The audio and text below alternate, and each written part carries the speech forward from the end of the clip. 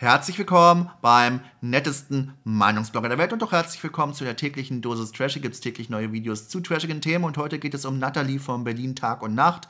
Äh, sehr bekannt, äh, die auch unter anderem bei dem äh, Format, auf was wir alle warten, mitgemacht hat bei Like Us. Und sie hat jetzt äh, ja, bekannt gegeben, dass sie schwanger ist. Und da haben sich natürlich viele die Frage gestellt, Mensch, äh, wie, wie, geht das denn? Ähm, die ist doch lesbisch. Und wie gesagt, ich finde es vollkommen in Ordnung, wenn lesbische Paare oder homosexuelle Menschen generell äh, Kinder bekommen. Das ist für mich vollkommen in Ordnung. Ich wünsche ihr auch erstmal alles Gute und Glückwunsch und alles super. Allerdings bemerkt man jetzt auch schon wieder etwas, wo ich sage, Mensch, das geht jetzt gerade mal ähm, ein paar Tage und das geht schon wieder in so eine Richtung, wo ich sage, oh nee, ja. Also zum einen, je nachdem, wie das jetzt zustande kam, also entweder ist sie dann doch bisexuell und hat jetzt doch einen Partner, den wir alle noch nicht gesehen haben, ist deren Sache, ja.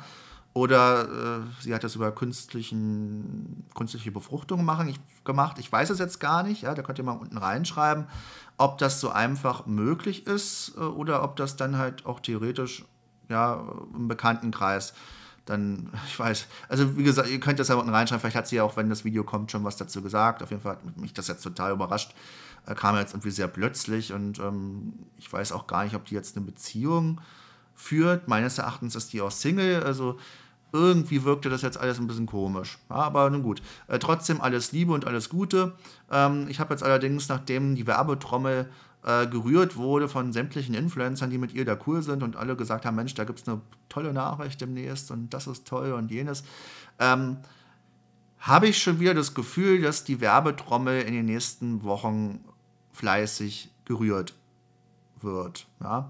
Und da habe ich ein Problem. Ihr kennt mich ja durch meine Videos von ähm, ja, Anne Wünsche und Co., die ja auch ganz gerne mal die Kinder sehr vermarkten. Und wenn es dann in der Schwangerschaft schon anfängt, ähm, dann habe ich da irgendwie ganz schwere und starke Bauchschmerzen bei.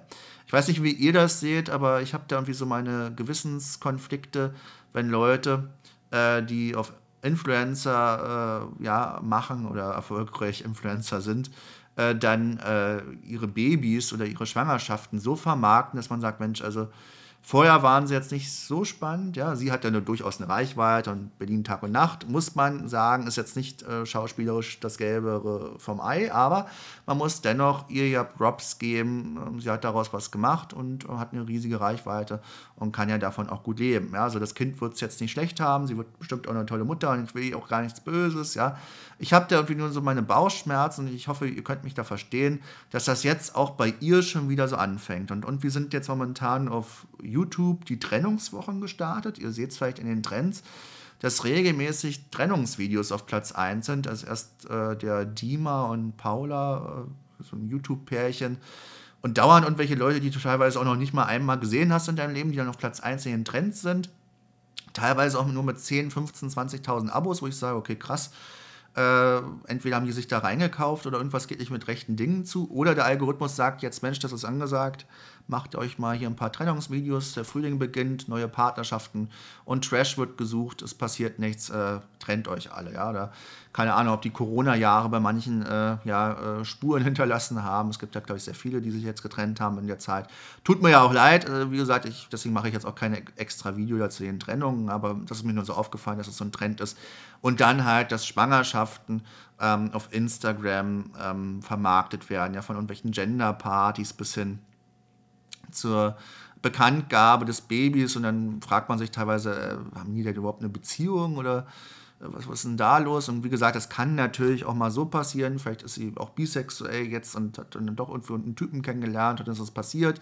Ja, ich hoffe fürs Kind auf jeden Fall das Beste, aber das dann irgendwie so zu vermarkten und, und, und wie da so ein, so ein Tromborium drum zu machen, äh, da wird mir persönlich ganz übel bei. Ja, und das geht jetzt irgendwie seit Monaten äh, auf Instagram ab und jede Woche ist irgendjemand Neues schwanger, der das dann wieder auf die gleiche Art und Weise macht. Promiflash steigt drauf ein und sagt, Mensch, geil, äh, das promoten wir und dann geht das dann monatelang äh, die ganze Schwangerschaft. Jeder Furz wird zum Thema gemacht. Man sieht das ja auch bei Anne Wünsche, also da sind ja intimste Dinge genannt worden, wo ich gesagt habe, also so genau wollte man es jetzt nicht wissen, liebe Anne, muss das jetzt sein, dass du jetzt da wirklich über äh, irgendwelche Sexualpraktiken jetzt in deinem Video plaudern oder in dein, deiner Instagram-Story plaudern musst. Klar kann man über sowas mal reden und einen Livestream machen, aber Ei, ja, so genau will man es dann doch nicht wissen, also zumindest ich jetzt nicht, was jetzt Anne Wünsche und ihr Freund da treiben während der Schwangerschaft, das ist deren Sache, aber anscheinend ist das jetzt für viele brennend interessant und ähm, gehört dann halt auch zu einer perfekten Vermarktung. Ja? Und manche gehen ja dann auch so weit und vermarkten dann die Kinder, wie bei Anne Wünsche.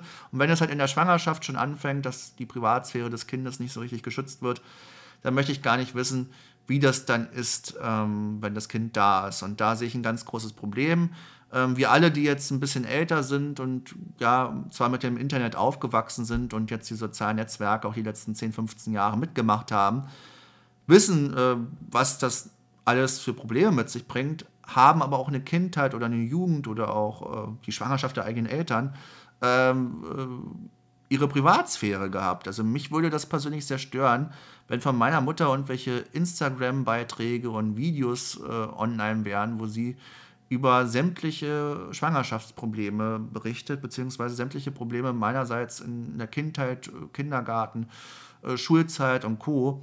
Und da jegliche Sorgen, Sorge oder jegliche Sorgen auch geteilt werden, was auf der einen Seite vielleicht Therapie ist und vielleicht auch eine Daseinsberechtigung hat, sich auszutauschen, aber nicht, wenn das Kind ähm, das alles irgendwie ein paar Jahre später sieht und sich fragt, Mensch, was hast du denn da über mich erzählt? Beziehungsweise das muss doch jetzt nicht jeder wissen, dass ich in der Schule irgendwie krasse Probleme habe oder äh, keine Ahnung, äh, sonstige äh, private Dinge. Ja? Und wenn der Content dann auch so aufgebaut wird, dass Kinder dann so vermarktet werden wie bei diesen ganzen Family Channels, da kann man Dutzende Namen nennen.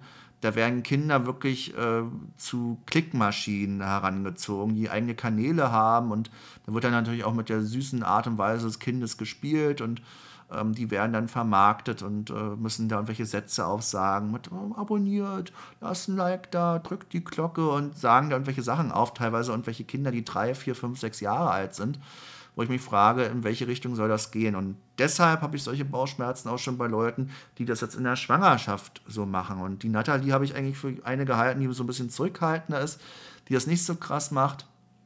Aber man merkt jetzt auch schon wieder, dass äh, dass irgendwie anscheinend jetzt gerade so ein Trend ist, ähm, alles nach außen zu tragen. Ich hoffe, das geht jetzt bei ihr nicht zu weit, ähm, das Ganze, aber ich sehe es irgendwie schon kommen, dass das sehr uncool und unschön und nervig enden wird. Ihr könnt ja gerne mal unten reinschreiben, wie ihr das so empfunden habt jetzt so die letzten Tage, wenn ihr sie überhaupt äh, ja, äh, beobachtet auf Instagram oder generell ihr folgt.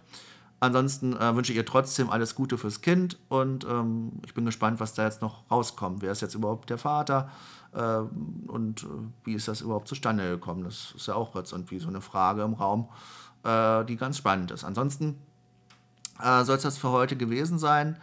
Ähm, ihr könnt mir gerne bei Twitter und Instagram natürlich Vorschläge machen für weitere Videos und morgen wird es auf jeden Fall wieder trashig. Also lasst gerne ein Abo da und ein Like und dann sehen wir uns morgen wieder. Bis dann und ciao, ciao.